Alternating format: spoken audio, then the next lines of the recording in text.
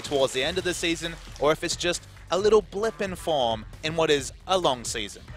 So, right off the bat, Cassiopeia will not be picked by Goong, a champion that he has favored recently, and with the Najin nerfs, or the LeBlanc nerfs to Najin, rather, uh, that could be an issue. GBM definitely the player with the larger champion pool between these two mid laners. And this is just banning a champion that Goong's been playing a lot out of his four, last four games, not series games. He's played three games of Cassiopeia, so been defaulting to it. It's a very safe champion to blind pick, not a lot of bad matchups. So just getting him out of the comfort zone. And as you mentioned, Goong, he's been seen as a player with a limited champion pool. So if they can try and target that, set up a good melee matchup for GBM, that might be a big boon for Jin Green Wings. Well, GBM is very conservative mid laner. He pretty much uh, just goes even in lane and plays pretty far back in terms of team fights. He rarely dies, uh, but he's not going to be that guy who gives you the big outplay either. So Maokai will be the ban against Trace right here. Now, Jin Air, this is a very interesting pick ban. So when we see the Alistar ban second on blue side, I assume Jin Air wanted to ban the Gragas third and maybe first pick the Sivir. Uh, but they would give up Rumble in that case. So I actually really like the Maokai ban because that means that Najin's probably going to take the Rumble in the first round of the draft if Jin Air takes the Sivir or vice versa. So this is actually pretty smart. Should be Ryze or Kalista last, but one of them's going to be available. Yeah, Nautilus also we mentioned could be a very big pick for both these teams. Might even make it to the third round if champions like Ryze and Kalista are still available. We're waiting to see where exactly they go with this final ban. Well, you can't give OQ Kalista. Go. All right. Very interesting. So they Captain to, Jack is no slouch on the Kalista himself. Yeah, but OQ is way more dangerous. And now you're going to give over the Ryze. Oh, boy.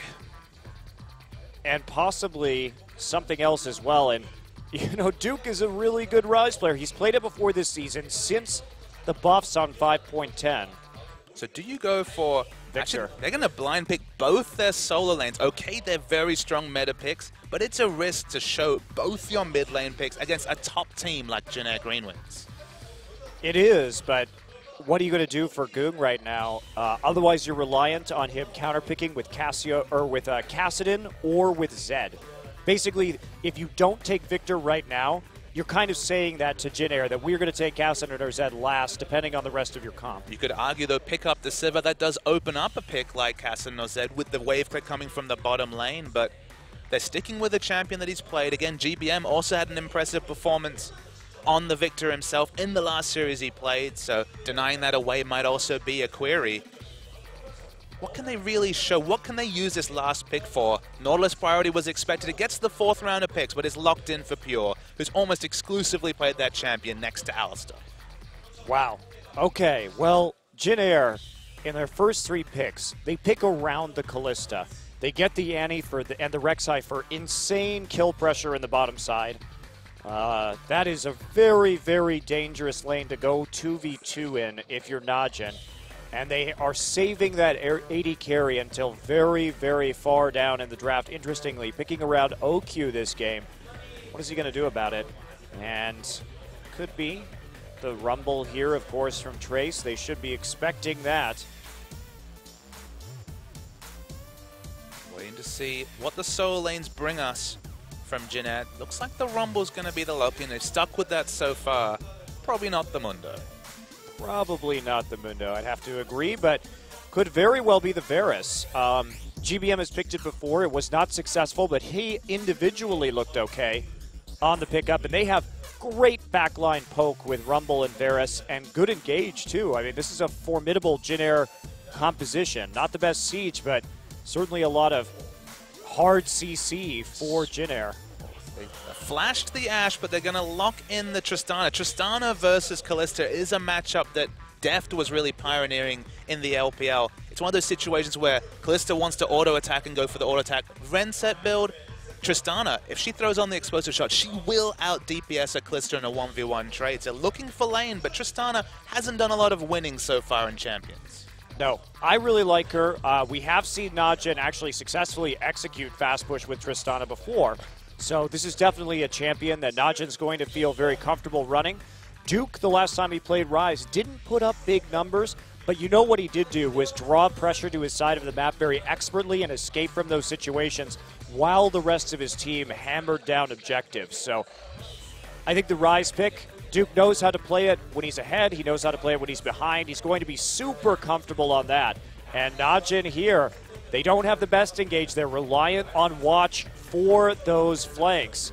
Meanwhile, Jin Air has a lot more options, and Goong's going to have to be very, very careful against Varus and Rumble. This looms as a super exciting match. Effectively, some poke and structure focused team comp against an engaged comp that's mostly around Watch's 3 0 18 KDA Evelynn.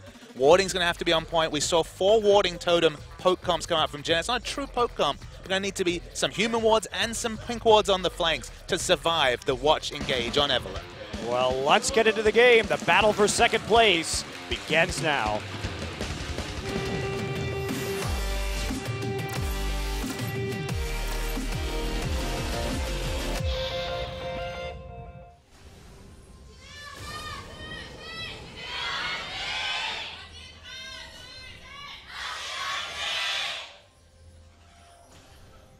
Welcome to game one here. The victor of this match will take that second place seed here in Champions as we wind down our first round robin. Outright second to a super dominant SKT, but it feels like a lot of the teams that played SKT weren't necessarily in the peak of their form when it comes to the teams that are really closing in on second spot. So the second round robin really looms as an excitement. And it'll be interesting to see which of these teams can pick up the momentum and really start to push what looks to be the undisputed number one team in Korea. Yeah, definitely. And also, I mean, this Najin and Jin Air team, they're, they had a soft, both of these teams had soft early schedules. This week, both of them have very difficult matches. matches. They have to play each other.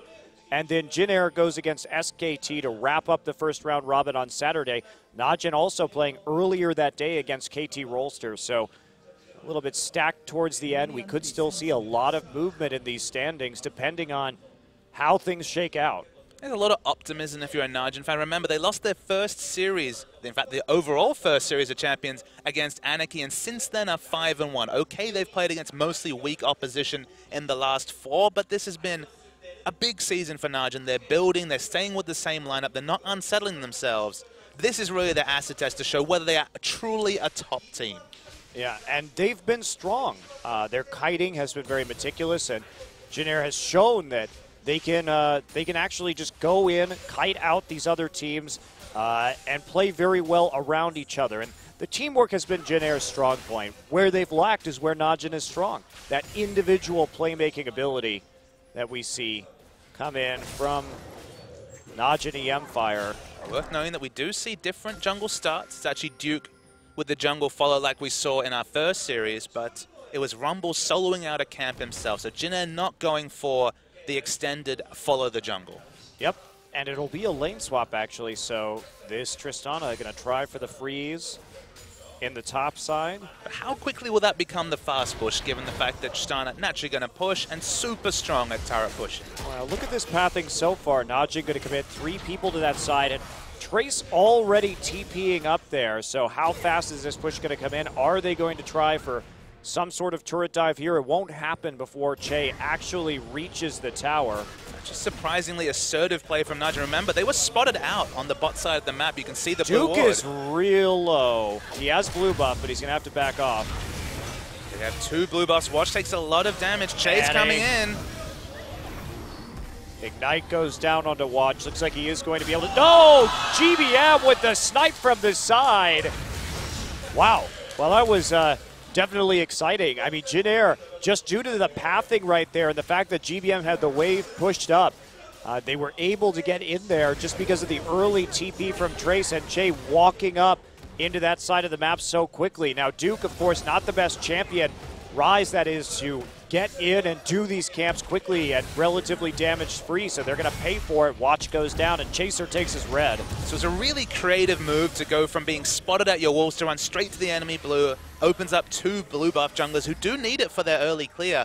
But this is the penalty. They lose their red buff. Chaser knows exactly where Watch is. They're drawing Annie over. They want to get another pick onto Watch. Wow, this is crazy. What great jungling from Chaser so far this game. Watch is going to come in. There's the smite, but he gets unburrowed. There's the stun. How far are they going to go for this? I don't know if they're going to go further. They can't get the kill. Oh, yes, they can. Auto attack range, not enough for Che. Now we're going to see some burning coming through. Pure gets really cute. OQ, Rocket jumps in. Needs a couple of autos to get the reset, and the Rocket jump gets it, and he's not done. I don't know about that. GBM is there. So is Viktor. Goong going to flash over. Trace follows the jump with the flash. He's got red buff right now. Goong has no mana. And GBM has the blue. This is something we didn't get to talk about. It helps his early laning phase. The only real weakness for Varus doesn't even need to wait till he gets the tear to have some lane control. That's why he was able to push and roam so well. Overall trade three for two for Jin and what has been a crazy five minutes. Wow. Okay. So, uh, interesting attempt there from Jin Air to continue punishing Watch. They do keep him down, but Watch does get a couple of assists in the process. The dust settles. It is a 600 gold lead for Jin Air. That was some pretty ballsy play for the Green Wings. And the gold, in terms of where the kills went, actually surprisingly even. The threats on both sides, AD carry on uh, Najin picking up a kill involvement. And the mid laner compared to top laner, mid laner. Support not ideal, but very similar gold. And Trace actually comes out of this with a red buff. Yeah, that is very scary indeed. And just to take a look right now, uh, who's been involved in these fights? Uh, GBM did have to sacrifice some CS because he has been roaming more and he's been roaming faster. Also, going not for a tear in the early game either, just building up some flat AD. But in the meantime, OQ, who has been the victim of a lot of this pressure in the mid lane, is suffering while Captain Jack was just free to farm on the bottom side. Yeah, definitely a big CS disadvantage for the Tristana. Picked up a pickaxe, and of course Captain Jack hasn't shopped, so there'll be a window where he'll be able to eat away at some minions to try and equalize it up. I like the pickaxe pickup. It's kind of like when Kassadins pick up a Blasting Wand before their Rod of Ages. Doesn't have quite the same kind of early game benefit because, of course, Kassadin doesn't need to pick up the Rod of Ages to start scaling, whereas the Tear needs time to get going. But I think it's just to allow himself to push and roam in what has already proved to be a very skirmish-heavy early game. Yeah, and tear is going to start stacking on both sides eventually. I am surprised that GBM went for that flat damage right off the bat. All it tells me is that he wants to get there with Chase and start messing up the Evelynn again. Yeah, if he can. He can push through those waves, but out of blue buff, he's going to have some harder time sustaining right now. Now there's going to be a tower dive right here as Chaser lurks towards Duke, and that is just going to be an Unburrow. Easy, easy, easy kill. Not afraid of Watch on the other side. Trace just going to start with a Flame Spitter. However, Goong on the rope gets the Q down. Chaos Storm is going to finish Trace off eventually. Hate Spike, actually, for the finisher. Chaser still running, going to unburrow. But that's a kill for Goong with the Death Ray. So good turnaround on Goong's roam. Yeah, just really nice room from Goong. Despite picking up that AD, GBM couldn't control the wave and push it in. Duke gets punished by the low base stats on the Ryze but at a very high, expensive cost for Jin. Yeah, they're not really coming out in terms of that CS either. Goong's starting to get ahead right now. And look at this. It was so telegraphed. I mean, Goong was already halfway there. They didn't have the pressure in the mid lane to prevent this gang from going down. I mean, Jin Air tried to be defensive. They saw that the stacks were built up on Ryze, so they backed away. They still went for the assertive dive, but the fact that Watch picks up, and of course, gets the, re the reset on his W to get more mobility means that Chase is going to fall as well good mechanics from both players and nothing Varus can do to really punish the roam from Goong. And that means we're tied up after a two for one there, favor of Najin, and just those gold disparities across the board in terms of farm kind of balanced out between the mid laner and the AD carry on either side. As more and more players have had to deal with this Ryze, so of course on patch 511 has its full strength still. We see kind of the builds are developing to counter the Ryze. Of course, when we saw a Ryze beat a Rumble last, it was Smeb getting an Abyssal Scepter at six minutes. A bit of a misnomer, but a lot of money spent on boots to decrease the root duration. Okay, you don't get the clean double magic penetration early game floor. That means that Rumble is so relevant at the first Dragon fight, but the cost is actually quite minimal to being able to be a little bit more competitive in duels with Duke. Yeah, and Man, Trace's still trying to zone out Duke right here. He got the fast Merc treads just to avoid getting caught in a series of endless rune prisons. Mm -hmm. But he still has to be a little bit careful right here, especially since this Evelynn is coming up, and he doesn't have a pink ward in the river. Not going to know that Watches on his tail. No flash quite yet. Duke to go for this, actually. There's the opener. Equalizer goes down, but Trace is just to get caught and die. Duke picks up the kill. You just can't escape once that Agony's Embrace comes in and the series of rune prisons afterward. It's just a really high amount of damage. When you rune for Evelynn, you're focusing on AD and AP for that hate spike damage early. So consistent damage and consistent CC blows away the Rumble, who with the Merc Tread still can't survive the Ryze lane. And here we go. Chaser doing a bit of threat from the zone. GBM wants to come up here and cut off Goong. They're being a little tricky.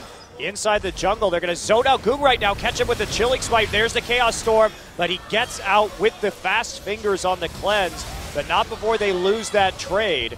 Chaser takes a bit of damage, but that was a nice little trap set by Jin Air. He has to use Cleanse Flash to get away because of the threat of the Chains of Corruption coming through from Varus. As you mentioned, nice path. And now OQ's left in lane again. This CS disadvantage has only grown in the bottom lanes, proving to be a 27 CS advantage for Captain Jack on the Kalista.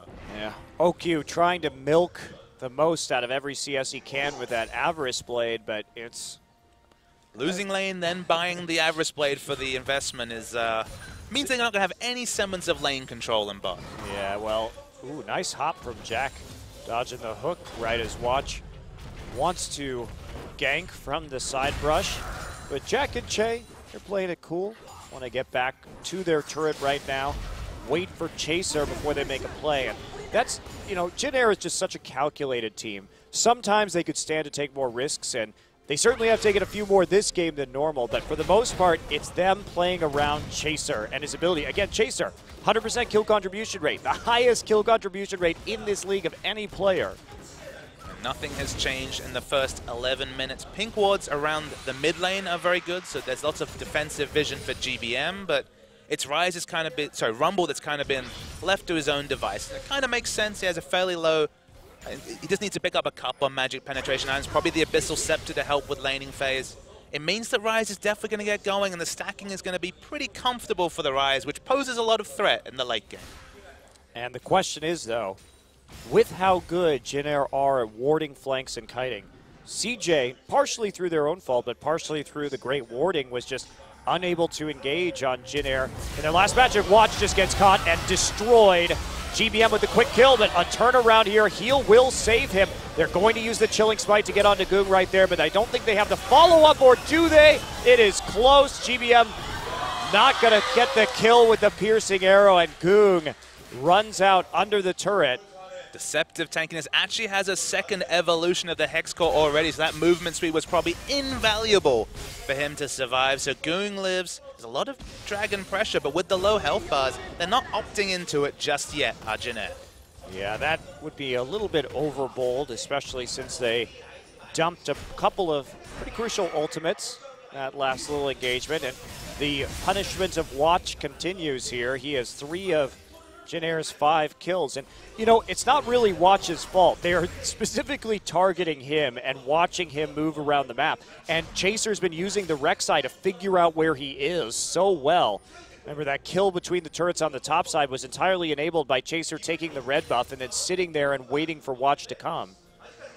Definitely cutting down on what has been an 18 KDA Evelynn over three games, notably against teams lower on the ladder. So this is Evelynn being tested against one of the top teams in uh, Jin Air, who... And arguably the top jungler in Korea. That's true. You so. mentioned his kill contribution. Nothing changing here, still 100%. Doesn't have a lot of kills to his name, but we'll take it.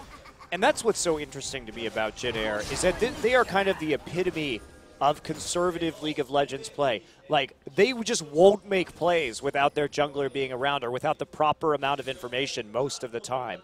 Um, been a little bit more, like I said, reckless this game, a little bit more to commit to some aggression, which is nice to see because I think you have to have a mix, otherwise you become too predictable. Uh, but Chaser's still there, still making the plays for this team. Going to be maybe getting a scuttle crab. Gets chunked a little bit. Death Ray going to come through, but there's the turnaround. Another Tibbers, and the chain stun is too much. Watch going to find himself in the chains of corruption as well, and he's going to have to get out of there. That surely will be a dragon. It's a late first dragon, but now they've got to kill and chunked out the jungle. It seems like it'll be safe. They push the outer turret and bottom as well. Watch isn't done. Chaser catches him and gets that kill he's been wow. waiting for. I'm very surprised Chaser was actually able to finish that off. Watch moving too far into the jungle and then getting caught out. So Chaser here, absolutely dominant so far in this game, and now they're going to move on to the Dragon. Such assertive play around objectives, around their wards on this blue side. It's excellent to see from the Jin Air Green Wings. Uncontested Dragon. CS advantage still massive in the bottom lane. What a first 15 minutes for Jin Air. Yeah, they played aggressively. They traded, you know, favorably throughout most of this game, even surprising Najin with some ganks in between their tier one and tier two after the initial kill onto Watch. And they haven't looked as predictable. Who would think that that Annie would be walking in and that early fight forced in the topside blue jungle on the lane swap like that? So punishing Najin for some relatively weak early game picks and knowing that they had that advantage in the 4v4. This is on Najin, who, of course, volunteered their solo lanes in the first round of picks, then went for that last pick, Tristana, that's been preyed upon by a lot of the rotations from Jin Air. Uh, they're certainly not out of it. Their scaling is pretty ridiculous here. And there's not perhaps enough of a lead to feel comfortable against Duke's Ryze. OQ going to hide in a brush. This is how Najin likes to fast push sometimes.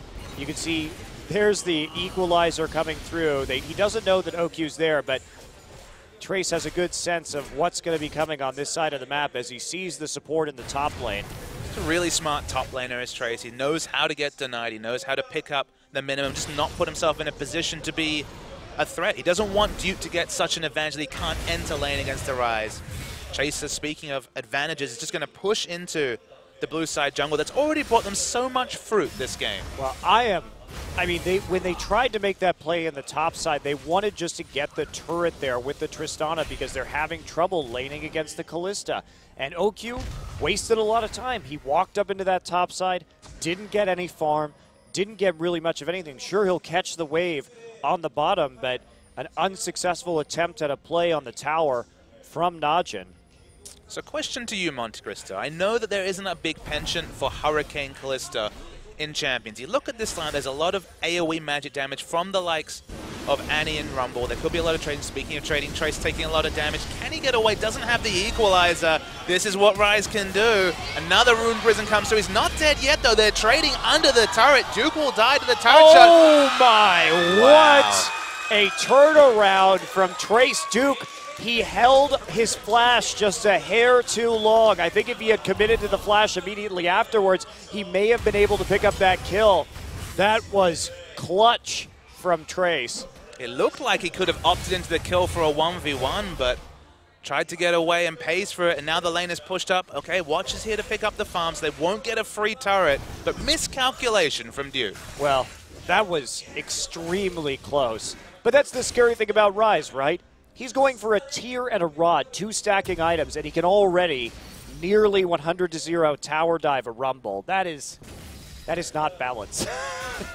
Riot is well aware of this. It's only a couple of weeks left, but this is where Riot is at. And even with Abyssal Scepter and the Merc Treads, you cannot stay too far away No. from your turret if you're Trace. yeah. I mean, we've seen Smeb on that rumble nearly die to someday in, in similar circumstance, just despite being 2-0-2 with an 8-minute Abyssal Scepter. Someday still nearly pulled the same trick. okay, so it seems like both junglers are looking to gank for their top lane. This is a 2v2. Equalizer's back up. And they're going to catch out Evelynn with the damage as well. Chaser's on to Duke. Duke's melting in the front line, but so is Chaser.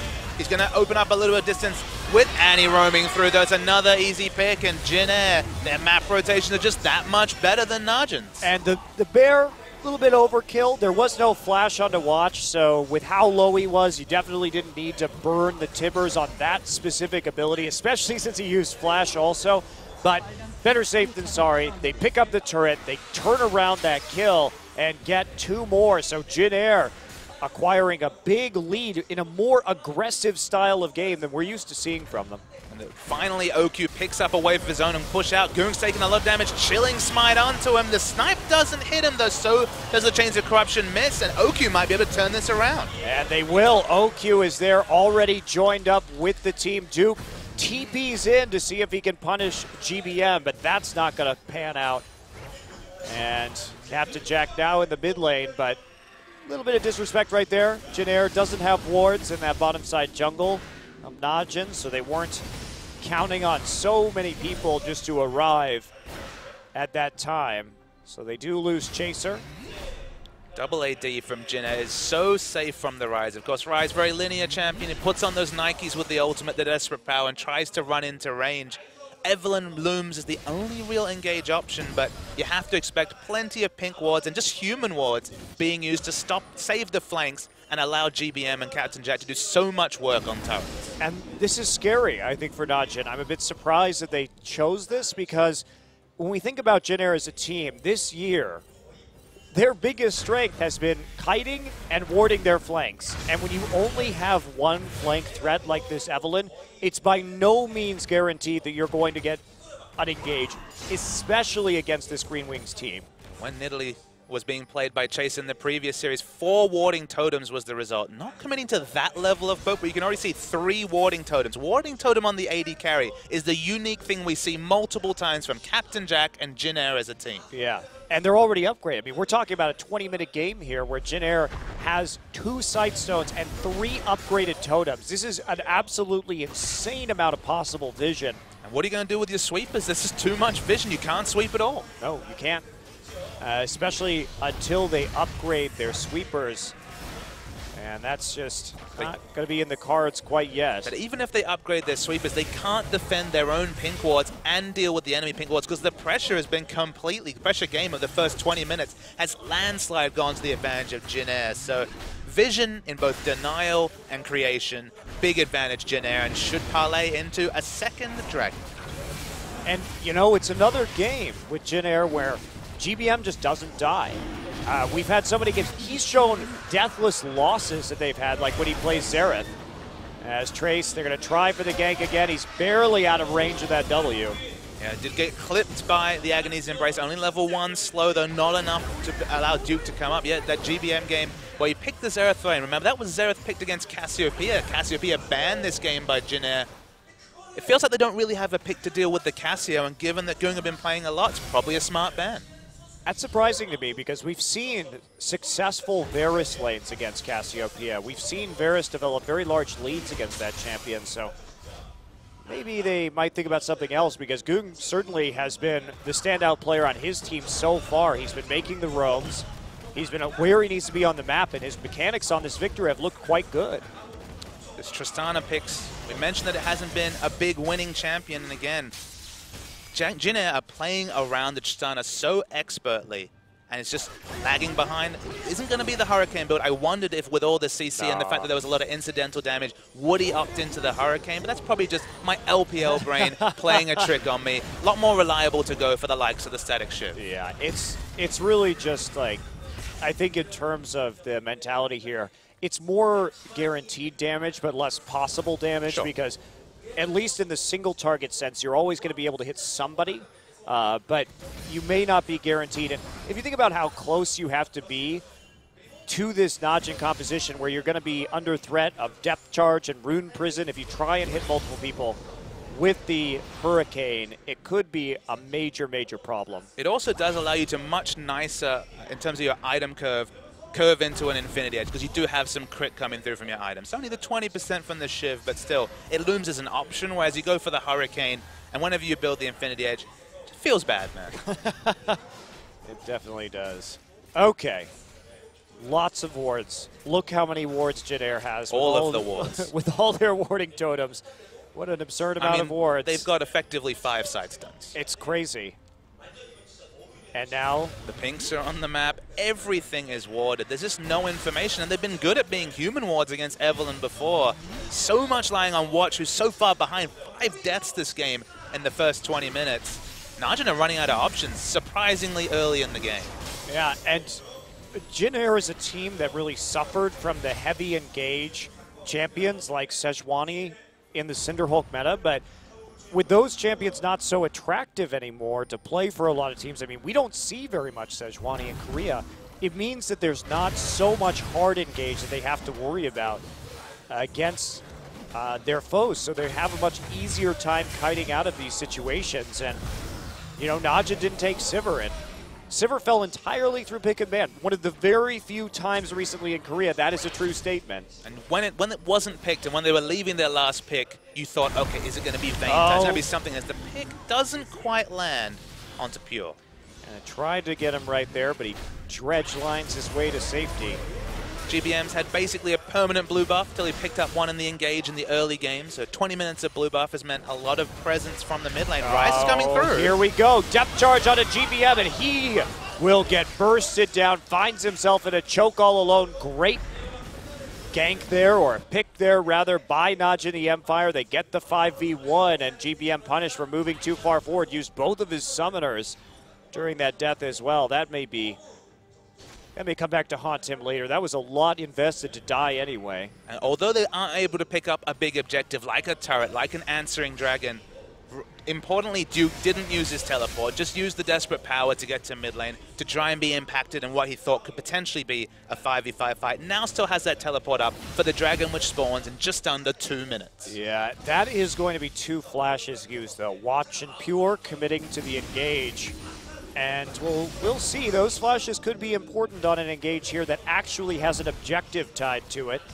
GBM certainly going to feel safer without that Nautilus flash ultimate hunting him down. He's finished the Youmuu's Ghostblade quite early. I like this pickup on Varus. Look, in a simple level, he's a bit safer with the extra 10% move speed. But Varus' auto attacks really aren't prioritized in the mid lane. We think of him for the long range poking with the Q, but of course his passive gives him that 40% attack speed if he gets a killer assist. Pop the Youmuu's and then effectively get refreshes on the Youmuu's uh, passive because that's effectively what the Varus passive gives him. Yeah, you can double down or double dip there, just a hair. All right, so this is a siege setup coming in. Jin Air wants to get this turret in an ideal world before this dragon goes down. Can they land enough poke to do it? Duke still needs to stack some more. He's not really at that big power spike for the Ryze yet. Doesn't have the Seraph's Embrace. Three pink wards in the infantry, but crucially not on the flank. So you can tell when they're committing to either pushing or an objective. When they start putting down these pinks, they're just sitting in the infantry. Yeah, they are. Goong able to counteract the push with the blue buff and the death ray. But Che sitting there calmly cleaning out wards. Look at Chaser there. He knows that no one can see him. So he, if there is a bait and Che is engaged upon, he will be there to follow up immediately with a tunnel. That's just good jungler positioning while wards are being cleared. I like the itemization from Trace. Not always a big fan of the early Liandry's, but in this particular situation where health stacking and no Aegis has been completed, they sit on this equalizer. It will dictate a team fight. Poke is strong, Watch is looking for an engage, can't quite find it. Watches it on the flank. They simply can't engage straight on without flash. Yeah, Rek'Sai spotting watch as he walks around as well, so we're waiting to see the pink start to come down. The momentum of this game will probably be decided by the next fight. Yeah, they've got so much vision. Sentinels going in to see their opponents as well. Can they continue to push? They change back to that mid lane. They want to get this turret. They want to control the dragon at the same time with the scuttle crab there. They're going to be able to do it. Nice job from Jin Air.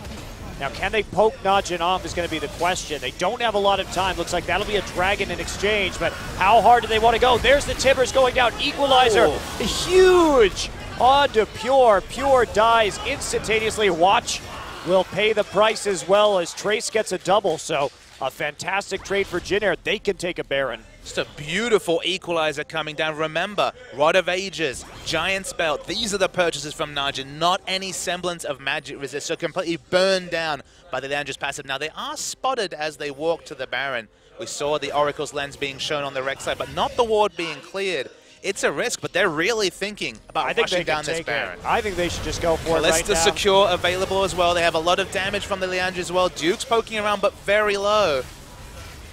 Uh, Goong is here, OQ is here, both full health.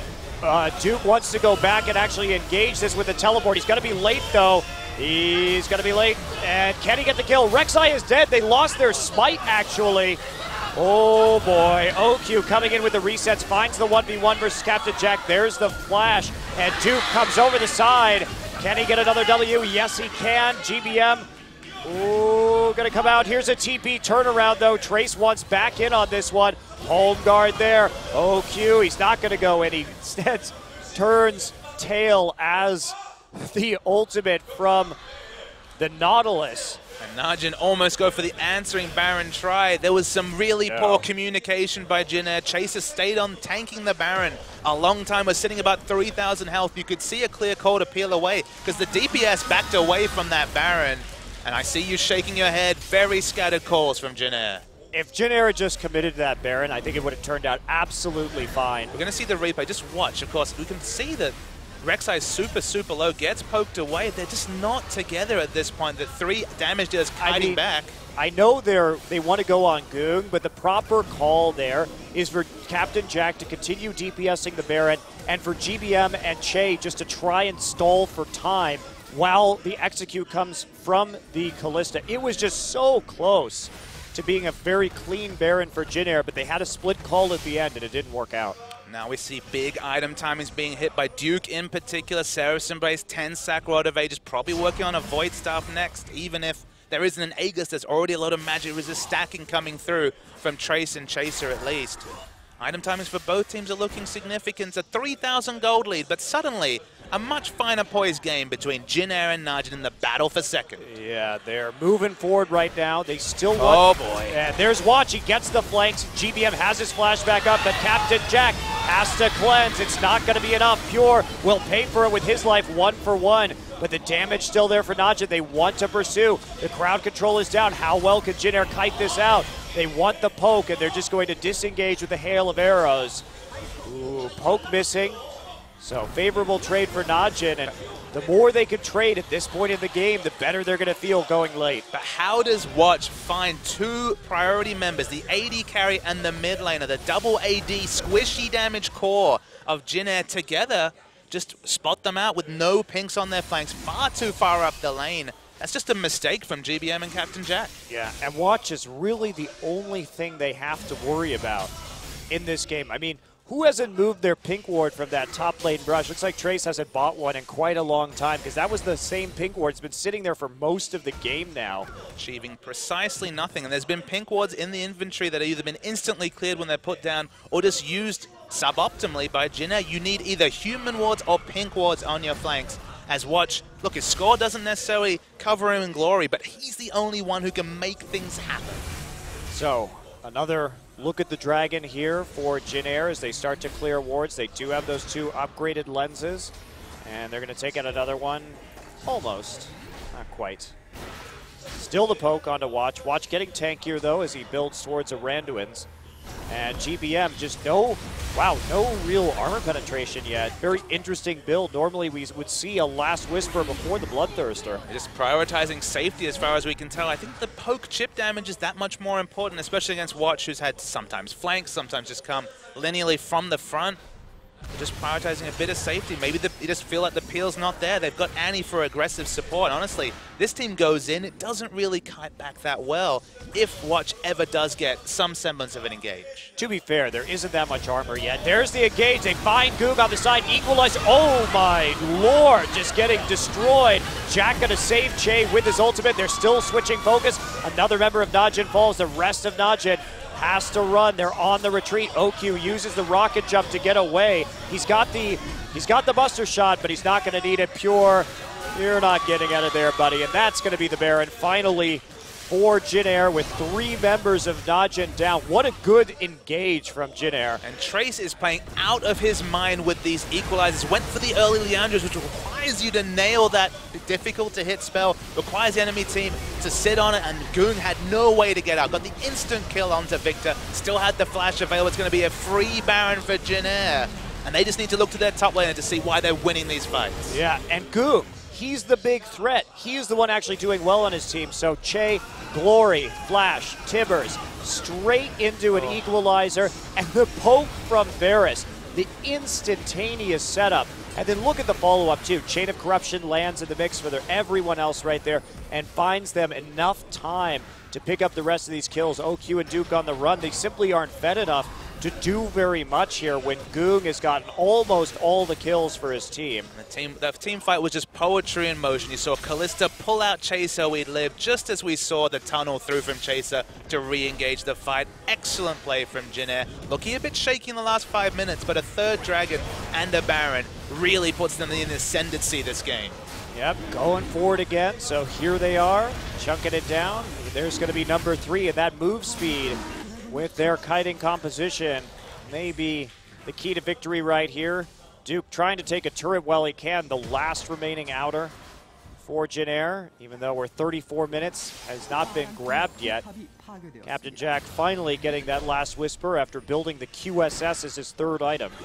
Crucial factor we haven't maybe discussed is that Tristana, only 10 CS behind Captain Jack, now has 380 items, was super far behind earlier as Jin Air. They're going to pick up an unanswered outer turret. Still three outer turrets on the map, so they got down the first one. They're going to try and work their way around tutorial style. Yep, very simple, and with their siege, shouldn't be too much of an issue. They can absolutely dive if they need to as well. This Annie, and trying to make it as textbook as possible, increasing that gold lead.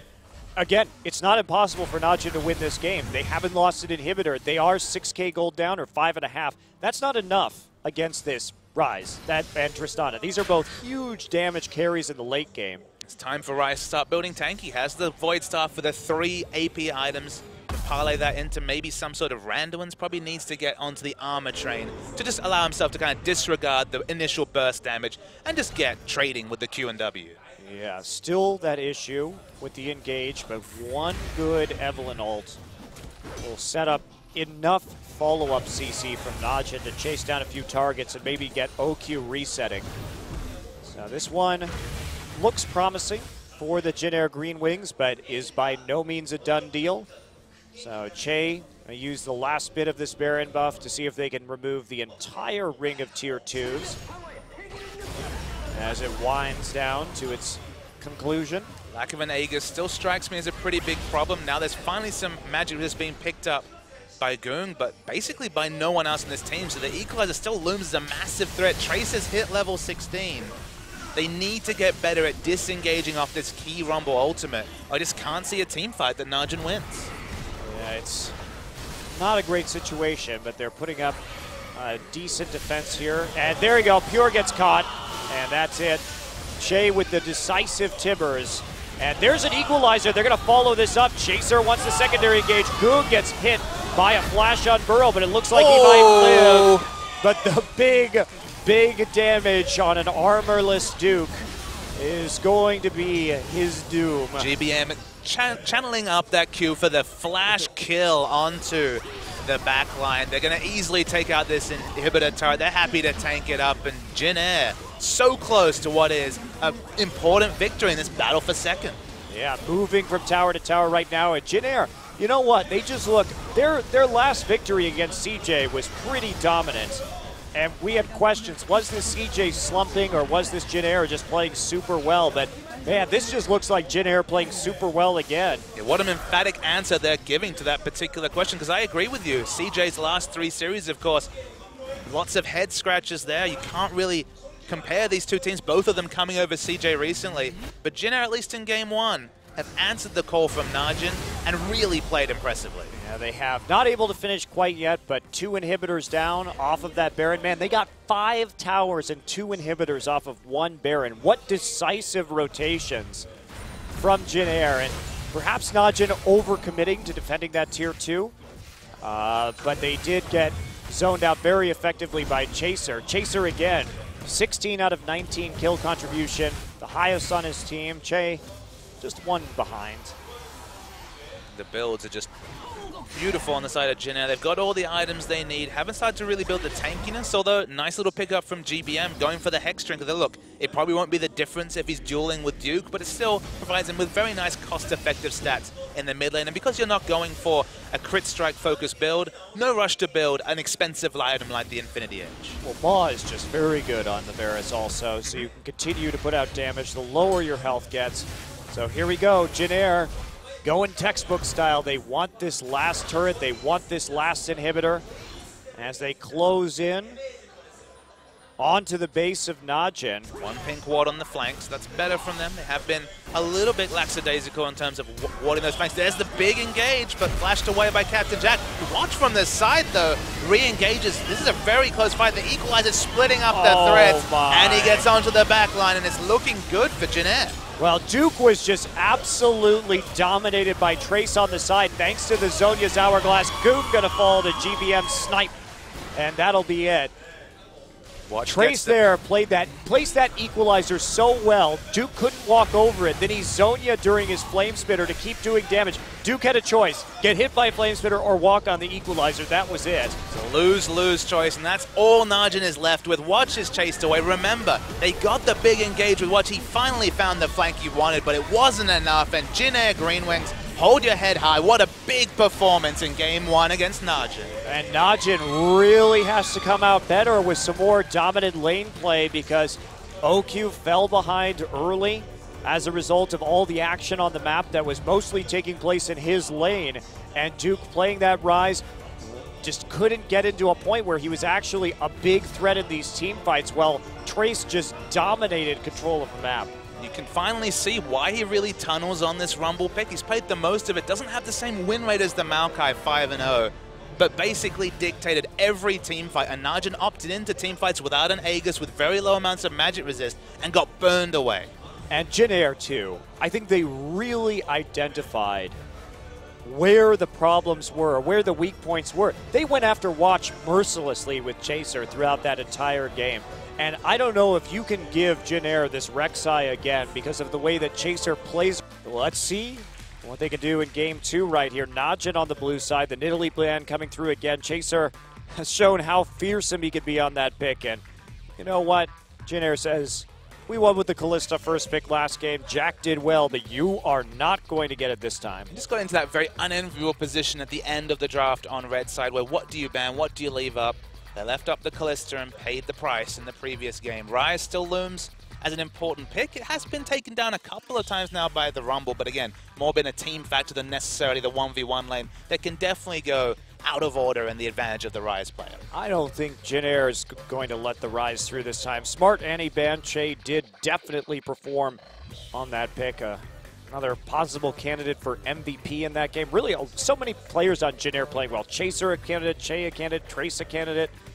Absolutely. There were no passengers. It was five players all playing super well, all with their own individual arguments for picking up the MVP. Even the flash arrows from GBM were pretty impressive. The last ban, Ryze left open again. It's going to be snapped up, you'd have to think. Duke has yet to put in an impressive performance. He got he's gotten focused in both of the games that he's played. He did win one of the Ryze games, but that was because he was just smart about how he was applying pressure and drawing people into his lane so the rest of his team could really push down turrets. Uh, Jin Air, I think, played around it very well. They kited his, the Ryze out effectively. Najin may need to look for a better engage possibility with this Ryze, and one of those champions, Sivir, is going to be removed immediately by Jin Air. Sivir Rek'Sai in the first round. It's kind of a blocker pick for the Evelynn, so you're get, trying to get Watch onto an Evelynn, not the most ideal of scenarios when, of course, the Tremor Sense can be so powerful, and you leave yourself open to just go for the Rumble again. That's what we have to expect from Trace. Sivir has a lot of synergy against Rumble because, of course, with that extra burst of move speed, you can get away from the Equalizer. So not even leaving that option open. Sivir fell through picks and bans, notably in the previous series, but right back up to a first rotation priority here. Yeah, taking that definitely limits Najin so much. And, you know, I really look at that as a counter pick these days because Jin Air, they don't really use the Sivir as an engage pick. They use it as a kite pick. Watch going to default to the Evelynn again, but Chaser really abused Watch in his own jungle, had eyes on him with the Tremor Sense nearly that entire game. Chaser, Che, they had multiple members looking for the picks whenever, and okay, you don't have the flash instant cast CC as Annie's been banned away, but you have to expect pretty much the same flavor from Jin Air to deal with both the Ryze, who was fairly well held down, but specifically the Evelynn. And I just wonder what this is going to be from Najin, because taking the Janna here, a big different pick from Pure, really. And the what are they trying to peel for, and what is their engage going to be with this Ryze? Because you have to be able to force a fight with Ryze most of the time. So GBM looking at the Cassiopeia, possibly they banned it in game one. Maybe they want to take it away in game two if he's confident against playing versus the Viktor.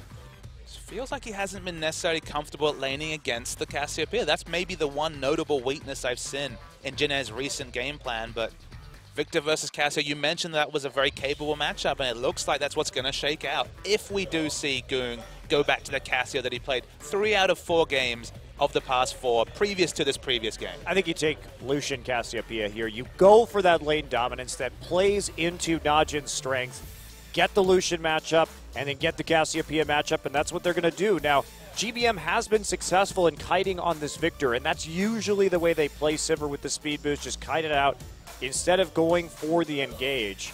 But apart from this Janna, it's basically textbook picks, what we would have expected once the Ryze was locked in first pick across both sides. We kind of shake our heads at the Evelynn priority. It's, again, an early power spike jungler. Even the Cinderhulk Lee Sin, I know you're not a big fan of it, but that's where Watch goes with his build maybe opting into that would have been the better pick against an Evelynn that can just be so much counterplay. It goes for damage, builds quite squishy, can get picked out and die quite easily. Well, Najin going for double tier here also, so a lot of stacking has to be done. Their only real victorious lane is going to be this Lucian to see what he can do at the bottom side and maybe pick up a kill there. But Jin Air has that kill pressure against the Ryze once again. Maybe they can pick up something on Viktor in the mid lane if Goong can land some poison, but it's going to be that. Uh, there's just so much, so much stacking that has to be done from Najin and Jin Air getting a comfort composition. They'll be able to kite so effectively and play in that very Jin Air style. A really good line wave here between Viktor and Sivir, basically killing minion waves before they finally break. Ryze should definitely have some control around mid, but Sivir and Viktor have a lot of pushing options that Goong and OQ won't necessarily be able to match early in the game. So pretty balanced comps from both sides, but Jin don't err very far away from what was so successful for them in game one. Wow. Well, I am curious to see if Najin can actually pull this off, reach that late game where they are going to have all that damage and be incredibly strong. Jin Air pretty much on comfort picks across the board. Will they be able to pull through once again? Looks very similar to what they were running against CJ in their decisive 2 0 victory. Both games featuring that Viktor. So let's get into game two. The battle for second place may end here.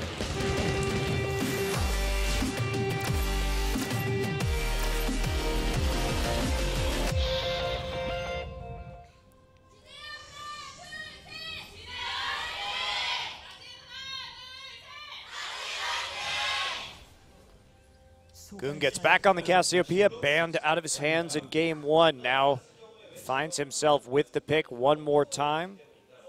Has to make some big plays in this game. Does have the two mobility summoners to try and catch people out. Honestly, it's probably even quite useful for laning because this is a lane where Goong can't match the wave clear necessarily of Viktor, but he can definitely all in the Viktor quite skillfully if he gets and navigates around the gravity shield, gravity field. So expecting a lot of aggression from Goong to justify the Cassiopeia pick. Yeah, and that means Watch may have to play around the bottom side of the map. Najin going to want the 2v2. And Watch just heads down to the lower jungle. Well, a bit of an invade here that will be seen by the ward in the river. GBM and Trace poke their heads in. Not going to get much information at first, however. They do get a ward, so they want to see what exactly Duke and Watch are up to at the Gromp and at the blue buff. They will know that this Evelynn is going to start on the bottom side of the map. Looks like neither top laner wanting to do a camp early this game. A bit of an aberration here in terms of starting for tops. A lot of times, even Rumbles will go for that quick Wolf uh, takeaway. And try and hit lane right at level two with a bit of extra gold. Saw a bit of craziness last game when Ryze went for the jungle follow, and all sorts of hijinks ensued with five kills in the first five minutes. Jungle follow does start for Rumble. Captain Jack picks Ah. up one of the small golems for a bit of experience. But it looks like Ryze just biding his time in the top lane. So yeah, to get the solo experience off that as well. So I'm very curious as to how they're going to do this. This will help them hit that level two just a bit sooner. And maybe they can get a good trade off of it. See what kind of surprise is going to result, if any. He's going to use that ricochet to quickly clear out that wave. He really wants to hit that level two first and get that boomerang blade. He's got a couple more minions right there. Trace going to help out with the jungle follow, just TPing in at level two. Picks up a pink ward actually with his early gold. Hits level two, of course. So we'll wait to see whether Duke can really communicate where that goes down. Will he just use it for some sort of lane control? You know, maybe put it in the second brush and try and defend it by pushing in against the Ryze. When you have it that early, it's going to be in full knowledge of Najin. So it remains to be seen how you effectively use that 100 gold early investment. Yeah, I think he probably just wants to push up right here and cover himself a little bit. Perhaps set up for a bit of a dive at level six. But we shall see. Otherwise, pretty standard jungling right now. Chaser on the hunt for Watch once more. Maybe he can get a level three gank with the red buff behind OQ and Pure. Bit risky, but there's no wards. There we go. Nice hook, actually. Pure gonna get flashed on. Good, good tornado, but there's the flash knock up from Pure, and that's gonna be first blood for Captain Jack. That was actually an extremely good reaction by Pure to see that tunnel coming in and instantly unleash the tornado, but it just wasn't enough. But he did at least get an extra flash out of the gank from Chaser. This really good hook from Che to start up. We already mentioned almost exclusively playing Alistar and the Nautilus, and you can see what benefit you get there. The mechanics certainly on point. Yeah. So, first blood going over. They're going to take the scuttle crab and then actually make a big play onto Goong. They're trying Oh, to boy. snowball the lanes. We can't see what's going on, but there is Goong, and there is Goong definitely dying. GBM the kill. So kills on the carries.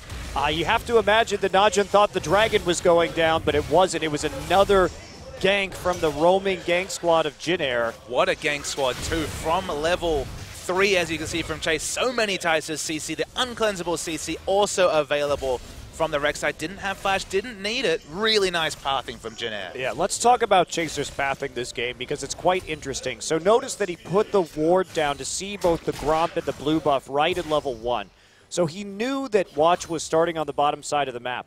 As a result, went, got level three with his red buff, and then immediately passed into the bottom side. Had the tremor sense, of course, to double check, make sure Watch wasn't down there, even though he was already pretty sure, and then came in behind where OQ and Pure were pushing aggressively. Very unpredictable pathing, I would say, from the jungler, just because, I mean, he hasn't even taken a blue buff yet. So you don't expect Chaser to be down there at that angle necessarily right at level three. You also throw off the timer for the enemy if they want to use the fact that you have been seen on the bottom side or move towards the top side by countering your blue. Well, the timer's certainly not going to be accurate because it's still going to be available and probably picked up in the next minute or so and passed over to GBM. And that this is the power of Tracer with with Jin, or Chaser rather with Jin Air is that he is able to think very creatively on the fly around his opponents in order to make these highly successful ganks. And that is a big factor to their success.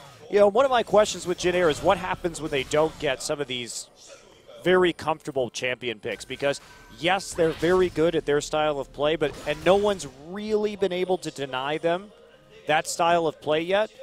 But it they don't have the most dimension, So I if would we, say. So if we credit KOO Tigers perhaps the most creative team when it comes to tailoring bans towards an enemy, if you're the KOO Tigers, what are you banning against Jin Air? Are you banning maybe, are you trying to first pick one of Rumble and Maokai and ban the other? Like, where are you going with your three bans? I think you just take away the the Rek'Sai is so clutch for But then Chaser. the Nidalee opened up. yeah, but the Nidalee is less reliable Fair. than the Rek'Sai is. And the Rek'Sai also exists as an effective buffer pick or blocker pick to the Evelynn, who We've seen Watch opt into twice in a row. Okay, hasn't died this game early game, but it's certainly been anonymous compared to Chaser. Yeah, absolutely. Chaser wants another one. He's got a pink ward there, so they will fall back. He pops out. Look at that. He knows there's a pink ward in there right away when they fall back, so he just immediately unburrows. And now more deep wards heading in. And look at Chaser. No upgrade on his machete yet. Immediately into the Cinder. Two losing lanes and people opting into tiers is a really rough spot for Najin to be in. Only Watch has any real semblance of early game pressure, but doesn't count for much. And Jin Air, they see the stacking and they go straight to Dragon. Well, they made they made OQ and Pure scared by showing on that pink ward in the tri brush, and Chaser still being down in that side, putting more and more and more wards down. And so since OQ and Pure have to play cautiously, they don't have any more wards to ward try. That means that it's free pressure for Jin Air and the Dragon. He didn't even smite the Dragon. He's gone straight to the enemy red buff. Now, he's not very high health, but with Smite available and, of course, Smite restoring health, wow, he's super, super low. But he's got to get out. Look at that tunnel timing. Goodbye. But so much aggression to no Smite take the Dragon and then take the enemy red buff, both playing for the team and well, playing selfishly. He's just thinking so far ahead. He had the pink ward already prepped right there, so if Evelynn come, came through, he could just get out immediately. Uh, it's just fantastic pathing here. I mean, Watch really just has no answer. He's getting kind of styled on by Chaser right now. It's reminiscent of Kakao back when he was really dominating when it came to pathing on, creative pathing on Elise. Of course, Rek'Sai, very creative in her in her ability to go over walls as well, but Chase has been ever present and oh so clinical in the first eight minutes. Going back for a chilling smite right now. Trace, with his first recall, did pick up that Negatron cloak. Not too surprising. Goong having some trouble, but keeping up in CS at the very least. But he's not really in a position to gank GBM. He's been poked out, is low health. Where exactly should Watch go right here to secure a kill for his team? And Trace, he's doing what he needs to on Rumble. Understands he doesn't need many items to be relevant. Happy to get denied on what is a tough 1v1 matchup, especially with Evelynn pressure for the Rumble. They're going for the big dive onto Goong, but able to open up a lot of space. Crucially, though, used Ghost and Flash to open up that space. Yeah, well, two summoners for one, especially support for mid. Very worthwhile trade. Watch once a kill right here. Duke is powering up. There's the Agony's Embrace. Trace flashes immediately. He's got the equalizer. No dice. Trace gets out. Chase is following as well. Oh, man. If they can bait an all-in right here, they're going to see Chaser. Now, they may go in anyway. Looks like they will. They are confident. There's the equalizer. Duke's going to flash uh -oh. off of it. Watch is caught behind. Is he going to go to the Flame Spitter? Overheat takes him down. Chaser with the kill. Going to pop under Duke and get another knockup. Trace not done yet. He's going to roast the blue man the under the turret. Trace gets a couple of taunts and He knew he would die. Watch, it feels like he could have just poured it back in the brush and gotten away scot-free. Shows and dies again to the focus fire. He's building damage. He is not tanky in the least, but Jin Air dissecting and really casting away this Najin lineup. Heck, Chaser, I mean, coming back up, just fearlessly moving through the pink ward and immediately committing to the gank. Just great communication between top and jungle.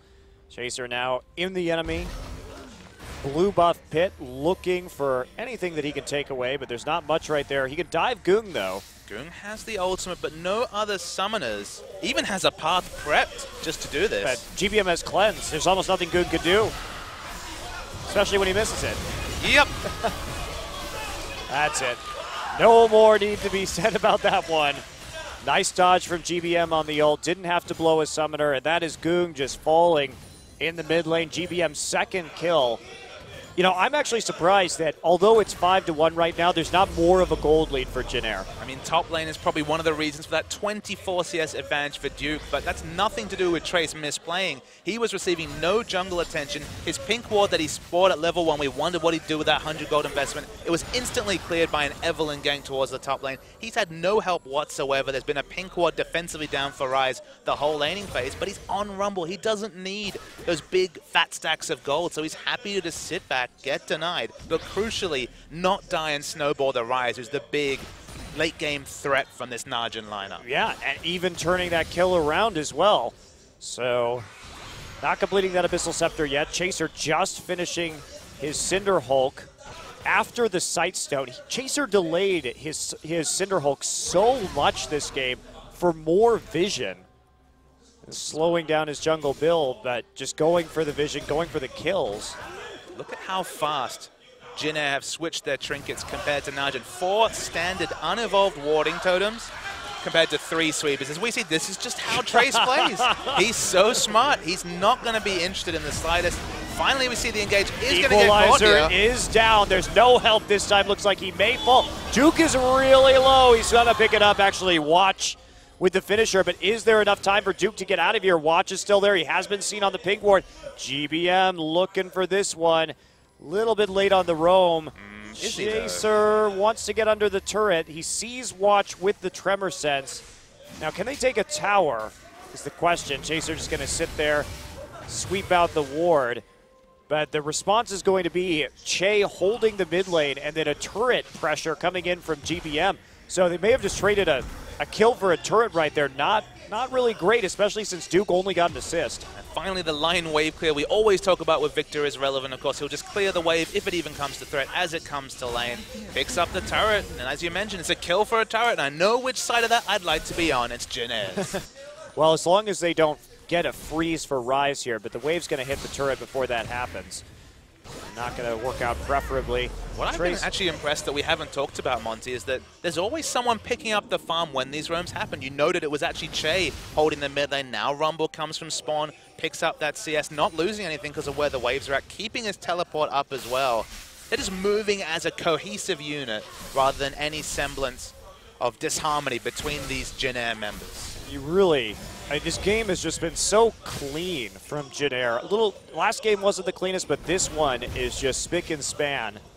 I am quite impressed with the early game here from the Jin Air Green Wings and Najin just not holding it together. Every lane getting pressured right here. They've had a couple of successful ganks onto Trace, but like you said, that's not really the most impactful situation as Jin Air can simply just play the bottom side of the map and keep stacking up dragons. Feels like whenever Jin Air have fallen apart in previous weeks, been some really curious drafts. Remember, they had that big priority around picking GBM every champion apart from a meta champion, specifically the Yasuo priority Xerath. in early weeks. Xerath, as you mentioned. When they stick to the meta, and now GBM has clearly shown that his Viktor is something to be feared, Jin Air look wonderful. I am so happy that we're not seeing a uh, a Yasuo counter pick to the Cassiopeia, which he tried on two separate occasions. I was going to say that was twice, and uh... he did win one of those games, but it wasn't because of his Yasuo. There's three members walking to it, although uh -oh. Viktor is spotted, so uh -oh. not going to be there anytime soon. Nikes are on from Duke. He has Flash available. That's Great a wonderful equalizer. equalizer, but is there enough? We're going to see how much with GBM wants. There's not enough to go for what is probably a needless turret dive. Yeah, Pure actually getting caught out right there, and Captain Jack just going to flash forward for the auto. Watch on the outside. There's a TP. Trace is coming in. Can OQ finish it? Looks like he will with the culling before he gets melted by a teleporting Rumble. It was basically an all-in to save that situation because Trace was just fast with the teleport, and Duke not really a chance to get involved in that interesting turret dive. Well, you talk about the cleanness of how Jin Air plays. Remember, Watch was actually in the tri-brush next to that turret looking for the turret dive, but Pure was almost dead before he even got in position. Clearly, the execution and communication for Jin Air has been super clean, both 15 minutes into this game and the entirety of game one. And Najin look a bit all at sea. Yeah, well, the dragon stacking really the critical feature for Jin Air right now. They can keep putting pressure on that objective, and they we're in another situation. Watch is the only genuine form of engage right here, unless Goong wants to flash ult. That's about it. That's what they got. And you're still pressured into the warrior enchant, which means that, hey, you might one out of three times get the main flank, but otherwise you just either get chipped out or die when you're attempting these engages. I don't know what to say. The Evelynn really, the Evelynn priority, especially when Chase has shown so much priority on Rek'Sai, bit of a head scratcher. Yeah. Well, they, I feel like Jin Air has been very successful at baiting Duke into the Ryze pick as well. Certainly, Ryze, very strong champion. Definitely a little bit OP right now, but Jin Air have played around it so well. Their game plan has included Duke taking this champion and Trace being more relevant in the early game, and that combined with their superior play on the map has led to A nice lead for Jin Air. Again, Najin scales very well, so you can't count them out, but it is dubious. You kind of have to wonder out loud, both in terms of 1v1, as we see in the top Oh lane, my. Duke's caught out, slowed, but is able to walk away. Do they have the CC? Are they going to commit to a summoner? So far, the answer no. There's the flash on Burrow, and rest in peace, Ryze. Yeah, another kill for the victor right there. And Trace doesn't even bother to come down. He basically just walks down, drops the equalizer, and lets GBM and Chaser finish that kill off while he goes ahead and farms a minion wave. Chei gonna get engaged on right here. Chaser is there, however. Watch wants to go in, blows the ultimate. Goong wants to make a play onto the bottom side as well. Looks like they're gonna get a tower. GBM doesn't have Chaos Storm available, even if he walks down there. So that's gonna be a turret for a kill. Nice trade for Najin, actually. Can they get a blue buff also? Is gonna be the question. There's a lot of pressure coming through. Trace is just walking down, doesn't have his teleport. I the question I wanted to bring up, Monty, is that how much practice these players and these teams really have on the Ryze? It's one thing about winning lane, but winning Ryze comps, honestly, that question still exists because we just see so little of Ryze either in solo queue, and you have to imagine in scrims as well. Yeah, and Ryze is a champion. He requires uh, to be built around because he has he needs some really good primary engage. You imagine this Najin composition with a Sejuani, and yes, Sejuani is dangerous against two tear stackers, right? You do want some more early pressure, but if you can get over that hump, uh, then the Ryze makes a lot more sense with the setup from the Sejuani. People tunnel on Ryze when he's allowed to overextend and just look on those insane damage trades, maxing the W first. But of course, the thing about Ryze is that it's just the same as before. He's still a very easy champion to tower dive, doesn't have the base stats, has that really big scaling requirement where he really doesn't want a team fight to what, 20, 25 minutes into the game. By then there could be three dragons. By then you could have lost your outer ring of turrets. Games can end before Ryze is relevant and okay. It's a bit like when Nasus was a little bit strong and it was like, okay, he's so strong late game that it pays off the weak-ish laning phase, but teams are playing and navigating around the Ryze surprisingly well. Yeah, and you don't even mention how highly kiteable he is Sure. also. It's uh, one of the big problems right there. You have to make sure that you've got something, if it's a Sejuani, if it's an Annie, but, you know, Najin banned out the Annie this game, and Annie's a great way to get Ryze into team fights, and they didn't even do themselves any favors. I'm I'm not sure what this Janna is supposed to do. Last series, last game, sorry, they could have taken Sivir to synergize with the Ryze and didn't. That, of course, just lets Yep. him have, what, 550 movement speed throughout a team fight. Instead, they took the Tristana that got denied and ultimately led to their downfall. This game, Sivir taken away. Ryze teleport flanks just aren't anywhere near as risky, as, as, as scary as any of the other meta top laners. All right, the Dragon setup beginning. Captain Jack just going to pop his ult early. They really want to go in. Oh. Nice commitment with the flash hook. Monsoon will blow him away, though. Are they going to be able to turn this around? Two teleports coming in, but Duke cancels his, as does Trace, as they continue the battle in the top lane. However, no one really taking damage right there, and a lot of ultimates used for Jin Three, in fact, to two on the side of Najin. So can they go for this Dragon? 14 seconds until it's up. Pushing very aggressively in bottom. This has allowed Goong to push up mid lane, finally relieve some pressure. Ryze is going to walk down because, of course, there is no teleports available for the tops. And it looks like Najin can clear waves. There's the smite use, just to ensure that this turret stays very safe health for Najin. Well, they have control over the river. Najin poking in to the brush on the top side, but no real wards right in front of the pit there or eyes on the dragon itself. They got to do something about this before they can actually make a contest out of this dragon. Remember, Captain Jack, no ultimate right there. Neither does Pure, neither does Watch. And, you know, without that major engage condition, I, I don't know if Najin's going to be able to do this. They want to get a pincer in with the Evelynn, but that's that's not going to be effective if they don't have Agony's Embrace. Oh, the equalizer is available. Sivir ult will be up very, very soon, probably midway through an extended team see one. Equalizer's used to split some threats. Goong's ult misses again. Okay, Goong on the side gets hit by the Death Ray. Looks like he's going to escape. Gets some poison down onto Chaser. Smart of them to disengage. They need that Evelynn ultimate. Otherwise, Jin Air just easily able to collapse on the even killer instantly without any kind of ramification. There you go, Sivir ult back up. Jin Air got the pursuit. Flash Rocket. Is it going to be enough? Nice tornado again, but they do find Goong in the end. Wow, just Good pursuit by Jin Air, waiting until they had that Sivir ultimate again, just pathing their way through the enemy jungle. Just great communication on that cooldown timer. I mean, you have to admire Jin Air being so sharp in comms.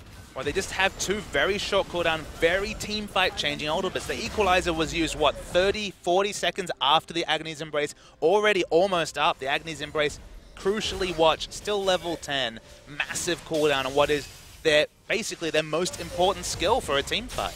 Yeah, absolutely. So Jin Air gets another dragon. They lose a tower for it, but they pick up a kill. So Najin at least got something out of it. They committed to that mid lane while Jin Air was trying to escape back through their topside jungle. So they, they make, make a pretty good trade, all things considered. But still that advantage slowly creeping over to Jin Air. Not that slowly when you consider it was a third dragon at, what, 21 minutes? Yeah. We're thinking of a, fifth, a 33-minute fifth dragon if it's taken at spawn. Ryze still three minutes away from the Rod of Ages, nowhere near the Seraph's Embrace. Games being played around Juke is usually so impactful on the likes of Hecarim. The Ryze being presented, you kind of have to pick it when it's up, and that's honestly played into the hand of Jin Air. Yeah, I, I really like the fact that you know, Jin Air didn't ban this Ryze either game with no intention of picking it. They wanted the Kalista first the last game. More confident on that champion selection. And now we see another turret go down. Duke desperately wanting to clear this out. Uh, Trace can just go ahead and drop the equalizer here in this top side. They have no objective to fight over right now.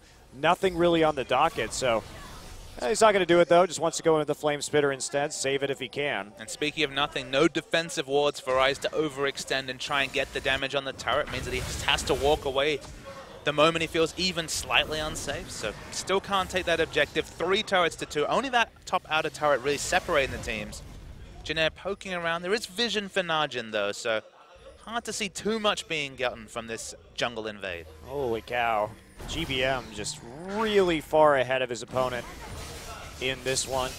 Uncharacteristically, Goong missing a couple of ultimates, really being a complete non-factor on the Cassio. It seemed like Cassio as a champion was GBM's undoing, caused the the brain explosions to lead, lead to the likes of Yasuo, comprehensively losing to that champion multiple times, but finally seeing the light with Viktor.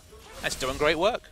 It is undoubtedly doing great work for the team, and Chaser, early Aegis, just going to add to their power right now against the Ryze and Cassiopeia combination that are still struggling to get into some items, some core items right here. Nice takeaway.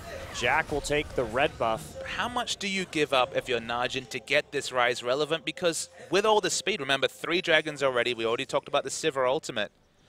If you wait enough for the, him to have, for say, the Seraph's Embrace, maybe his Void stuff, we've already seen that he's kiteable. We know that as a champion pick, so giving up your third, the three dragons, giving up your buffs.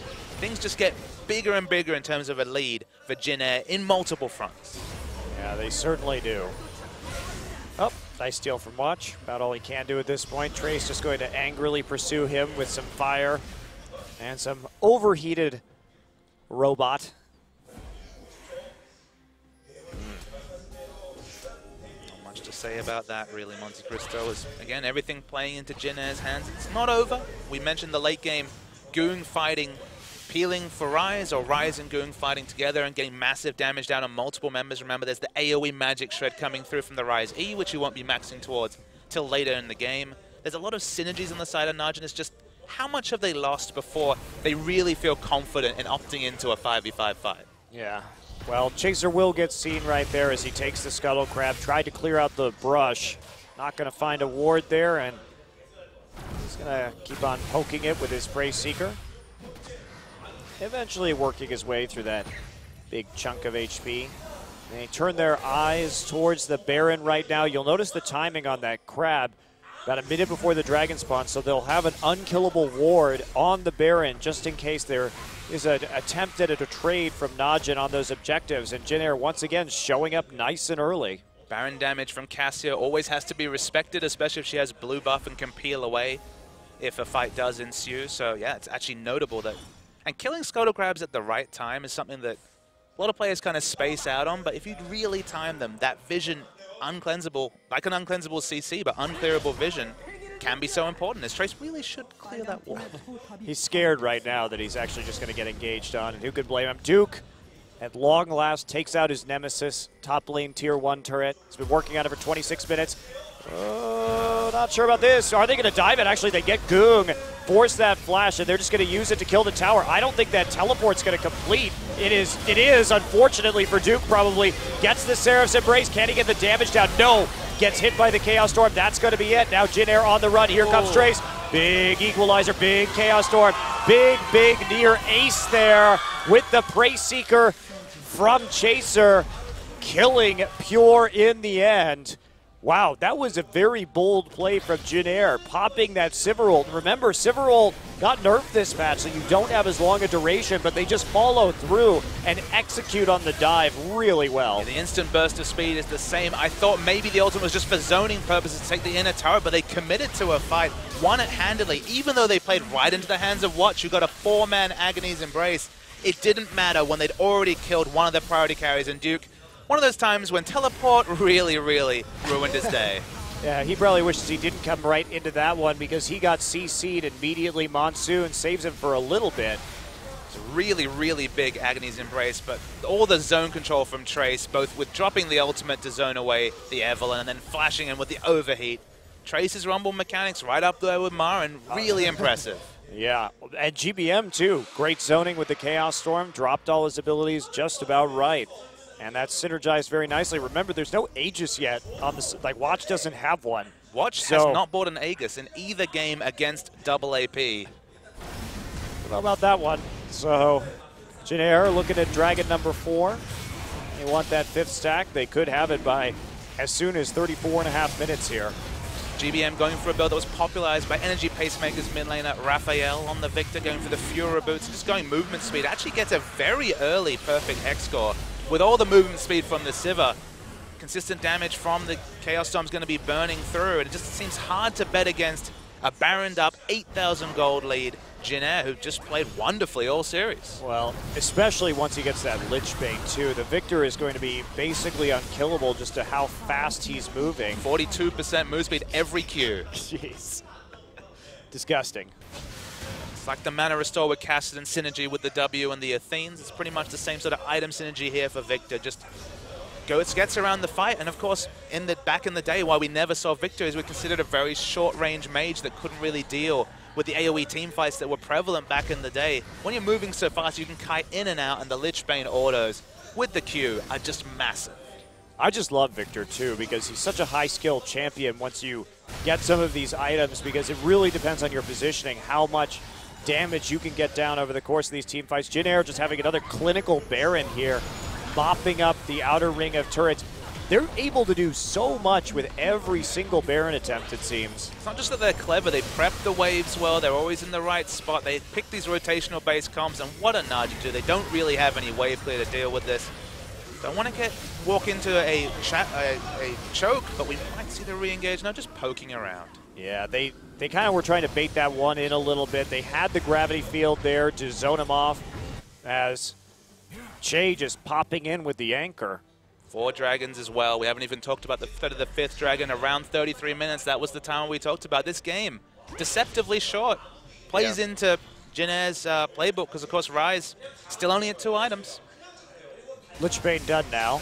That's going to be quite painful for GBM. He has 800 AP at the moment, 795 to be precise, but we'll just round it off to 800. And those autos, those Qs, those will be doing a lot of work. I mean, even simply outside of fights, Structure's going to completely yeah. disappear to the Lich Bane damage, and then once Captain Jack activates Ricochet, turrets will fall like butter. So Jin Air, they can team fight, they can look to split, they can back away and just take the fifth dragon. It's always nice when you have multiple different options and the enemy is just hoping you make a mistake. Wow. This makes me very excited. I had hoped, you know, Papa Smithy, that this series would be really close. I hope we get three games, a little bit back and forth. It has been, for the most part, dominated by Jin Air. But you know what this is doing? What's it doing? Really hyping me up for Jin Air versus SKT on Saturday. Because I wonder how well SKT will be able to kind of dissect Jin Air's compositions. Yes, Uh, Jin Air has shown fewer styles than SKT, but they do look really strong when they get what they want. It's going to be a fascinating pick, Bam, for what should be an explosive series. We've said that about a couple of SKT versus top, uh, top team series. They dispatched CJ, they dispatched KOO. They also dispatched basically everyone that's come their way. It's only been the bottom teams that they've really lost games to, so maybe something will change as Chaser. He's basically unkillable at this point, and Jin Air just looking for the right angle to get what should be the triumphant end to this game. Still no inhibitors yet. Najin holding on tenaciously, but again, keep your eye out. It's two and a half minutes until that next dragon, and that will likely be the ending of this game. If not, if Jin Air can't find it before, they're gonna pop the Sivir ult. Don't actually find a pick. However, Jack just wants to go crazy on this turret right now. Agony's Embrace has to come down. There is the actual ultimate from OQ, but there's just no follow-up anymore. And now Najin has no abilities besides a flash petrifying gaze to actually engage this team fight. I think that's what we will see if we see GBM actually go for an auto attack. They know at this point he has Lich Bane. The auto is going to completely destroy this turret. Catching GBM is the come in. only option they have, but he has There it is. And they get two, but is it going to be enough? Captain Jack actually dies right there. Duke gets on top of the equalizer. Already a double kill from GBM. So they knew it was coming. Not everyone could turn around in time. And now GBM Oh. just destroys OQ. Holy cow, that burst. That was insane damage coming through. They have the Lich Bane Viktor. He can just put out spells. They can look to, at minimum, take a couple of these Nexus charges. Just waiting for that minion wave to ride in. 20, 15 seconds until even the Evelynn, 17 seconds until any damage. Probably can't quite finish the game, but man, I almost. don't, I don't know about that. They're void rushing in right now. They might be able to. No, there's not enough minions, unfortunately, to do it. But Chaser is the last man punching a turret. Chaser just ignoring the back call and says, no, I got this, guys. He's feeling safe. Of course, very, very tanky. Doesn't have any resources to worry about in that situation. They'll back away. Captain Jack, yep, caught with his pants down. Got the QSS now, though. I'm sorry, Jack. I, I really think he should have expected that. That's what we were looking for after all the other engage options were eliminated. Spell Shield, not quite there. Does have a QSS, but And look, Captain Jack famous, of course, for the, both the cleanse and the spell shield mechanics. They abandoned him for just a fleeting moment, but in the grand context of the game and the series, probably not a big factor.